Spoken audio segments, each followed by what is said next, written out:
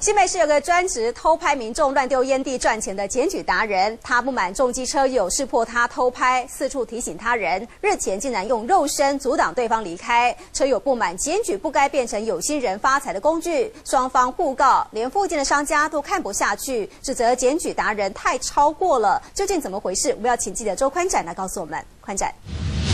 是主播在新北市一零六县道这边呢，有许是许多重机车友会行经这个休息站。不过最近出现了一个检举达人，专门用安全帽的行车记录器偷拍这些重机车友呢乱丢烟蒂的景象。有店家就在贴上海报，警告路过休息的民众要特别小心。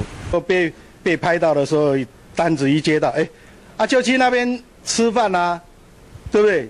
哎。我吃个饭出来被开个红单一千二，怎么会划得来？我的生意就会受影响啊！我们一开始也不知道他在干嘛，就是说他为什么在抄人家车牌这样子。然后后来之后我们去便利商店问啊，才知道哦，原来他自己安全帽上面有个镜头，对，这样在拍录别人这样。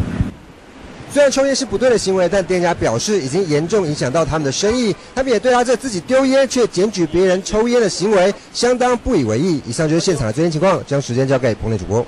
好，偷拍车友呢赚检举奖金，结果现在呢被已经识破了。